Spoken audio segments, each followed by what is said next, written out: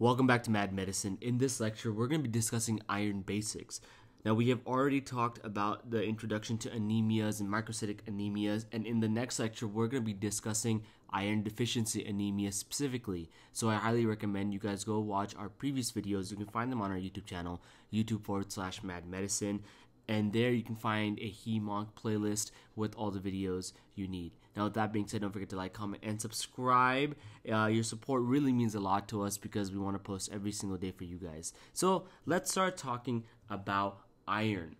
Iron is one of the most important molecules in our body mainly because it is required for heme synthesis. It allows protoporphyrin to become heme by binding to protoporphyrin. This is a molecule of protoporphyrin and when iron binds into the middle right next to all four or right binds to these all four nitrogenous uh, groups right here you're gonna have heme. So this is no longer protoporphyrin this is heme and then four heme molecules will bind to four globin uh, chains and you'll get hemoglobin. Now this is mainly iron is mainly absorbed in the gut via the gut macrophages, and we're going to talk about iron absorption in a little bit. And it is found in the body and is found in uh, the food that we eat in two main forms. So we have heme iron, which is found in meat. It is readily and easily absorbed in the gut. And then you have non-heme iron. This is found in the Fe2 plus state, similar to this molecule right here that is bound to uh, the protoporphyrin, and it's aided by vitamin C. Now, iron is always bound in the blood to a protein, and there are several proteins you need to know for step one, like transferrin and ferritin. And uh, with that being said, let's talk first about iron absorption. So, iron is going to be absorbed in the gut and is specifically absorbed in the duodenum. That's pretty important to understand. This ties back into your GI gastroenterology lectures that you need to know about. So definitely understand that iron gets absorbed in the duodenum via a transporter, and that transporter is called the DMT1 transporter. So the DMT1 transporter is going to be found on enterocytes and it transports both heme and non-heme irons. Okay, that's a good thing about it. It's non-selective. It can transport both types of heme. Now, heme iron, like we said, is more readily absorbed and it's easier for our body to absorb it. Now, once it transports, uh, um, when it's trying to transport iron into the our bloodstream, we have a transport protein called ferroportin. Ferroportin is going to uh, bind to iron and it's going to help iron transport across the membranes into our blood. And then once it gets into our blood, it's going to bind to a protein called transferrin. Transferrin is going to transport the iron to the liver and the bone marrow. And that's the main places where it's going to be stored in the liver and bone marrow macrophages, where it can be used to produce heme and then so on to produce hemoglobin. Now, uh, this is once it gets inside the bone marrow macrophages and liver macrophages, it's going to be stored via being bound to ferritin. Now, you may be asking, why is iron being bound to so many uh, proteins throughout every step of the way? Well, the reason why is because iron has the capacity to generate free radicals. So, in order to prevent free, free radical formation, we're going to bind it to these proteins. So, the way I like to remember it is that you have irons. Let's say you have the gut right here. All right, let's just draw it out for you guys. So this is our gut, right? And this is like if we just look at an inside view of our gut. Boom. Okay, so this is our gut. And here is a molecule of iron. It's going to be floating around and it's going to go down. And then right next to our gut, let's say we have this uh, blood vessel right here.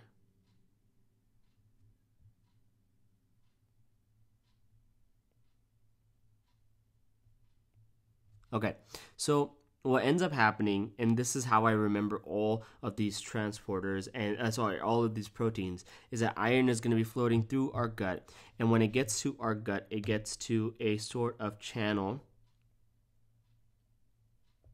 Okay, which is this channel right here, and this is going to be the DMT1 transporter, right, which is going to uh, transport it into the enterocytes. But I like to simplify it what ends up happening is that iron is going to be bound to uh, ferroportin. So I like to think about this being a port, okay? So a port, right, for iron to go to, to cross into our bloodstream. So that stands for ferroportin. All right, this is ferroportin. And once it crosses into our bloodstream, we're going to have another another uh, uh, molecule called transferrin. Okay, and this is this molecule right here. It's going to bind to iron to make this iron transferrin molecule, and it's going to transfer iron in the blood, right? So that's why it's called transferrin. Okay, and once it gets to uh, the bone marrows, okay, at the bone marrow and the liver, it's going to be stored intracellularly in a iron tin.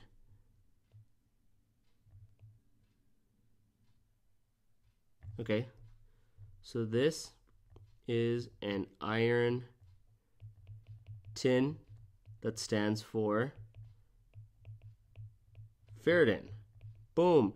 So Fe2 plus is going to then go in here and it's going to be stored as uh, as it's going to be stored within with ferritin. That's how I like to think about it. I, I made it into a story, so hopefully this made it easier for you guys to remember what is happening. So, like we said, there are also these proteins you need to know for step one. This is very important because they play a huge role in iron transport and regulation. So, the first transport is transferrin, which is going to help transport protein in the blood. So, sorry, it's an iron transport protein in the blood. It's going to help transport iron from uh, the blood to the liver and bone marrow macrophages. Then you have ferritin. Ferritin is going to be the intracellular storage protein, okay, for iron. That's what's happening in the liver and bone marrow macrophages.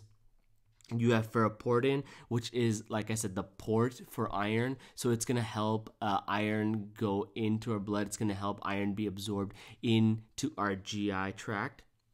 And it's the only known GI uh, iron. And the main iron protein that we haven't talked about yet is called hepcidin. And this is very important. Hepcidin is uh, kind of, in my opinion, an antagonist to uh, uh, the iron proteins in general. So this is going to be very high yield because hepcidin gets tested quite often, especially when you're going to be preparing for step one and you're doing questions. You're going to find you're being tested on hepcidin. Hepcidin is secreted by the hepatic parenchymal cells, and it is the key regulator of iron into the circulation of mammals. This is very important. This is the main main protein that is regulating iron Understand? It is the regulating protein for iron. Now, what ends up happening is that it is going to inhibit ferroportin. Okay, it is going to inhibit ferroportin by binding to it and degrading it. It's so if you have ferroportin. Now remember, ferroportin helps iron uh, go into our blood. It helps with absorption of iron in the GI tract. Well, hepcidin is going to block ferroportin.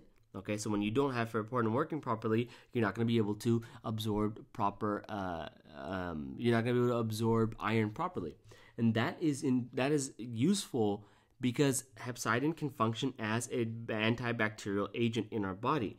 It lowers the availability of iron stores, and that harms bacteria because bacteria need iron to function. So that is why you have hepcidin. Again, this is very high yield. Don't forget about hepcidin. Everything else is pretty straightforward, but hepcidin is very, very important.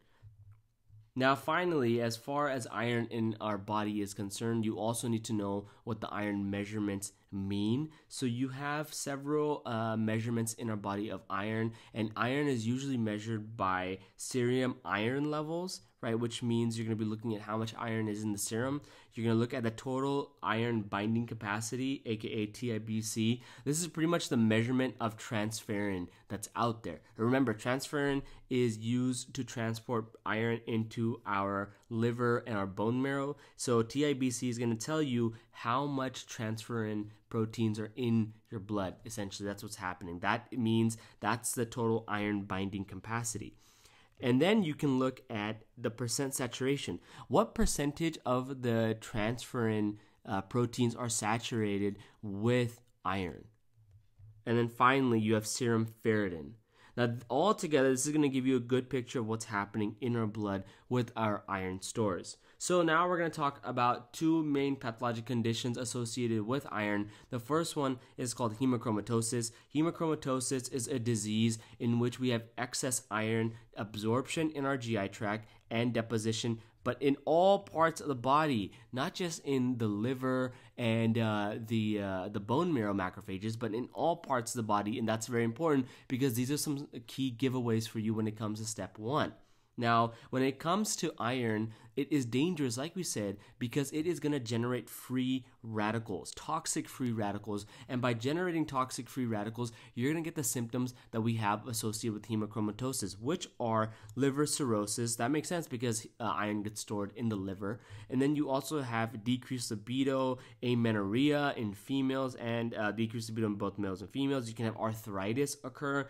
And uh, one of the key giveaways in the physical exam is going to be mental status changes. Usually, it's going to occur in a patient with, with very acute presentation, or sorry, a very uh, slow progression of mental status changes that are happening. So keep that in mind. Mental status changes is pretty important.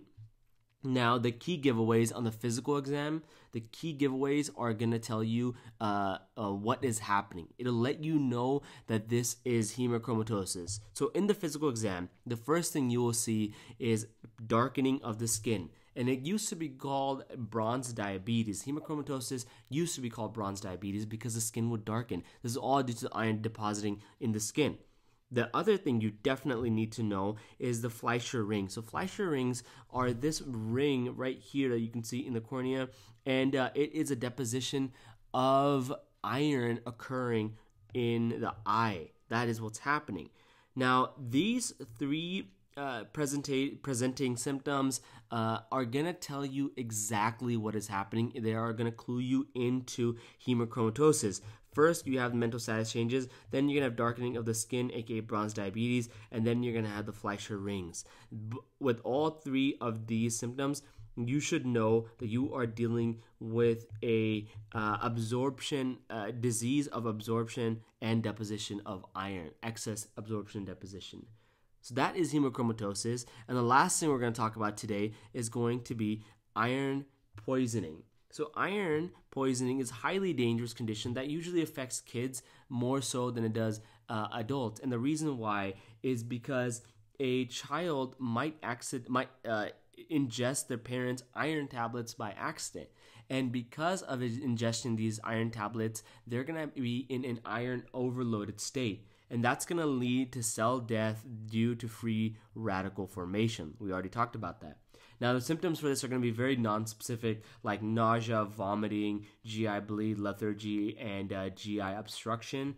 And when it comes to step one, you're going to be able to know it's iron poisoning because they're probably going to tell you that they ate their patient, uh, parents' uh, tablets for iron in one way or another. Now, when it comes to treating these uh, uh, this condition, you can use an IV drug known as deferoxamine, or you can use an oral drug known as deferasirox. Okay, these are going to be the two main drugs and dialysis to help remove the amount of iron you have in your body. So that is iron poisoning in a nutshell. And with that being said, thank you so much for listening. Don't forget to subscribe to our channel if you guys like what we are doing. You can follow us on our social media accounts at mad.medicine on Instagram and at it's mad medicine on Twitter. And you can find these lectures on your favorite podcast service for free. Just search Mad Medicine and you'll find us.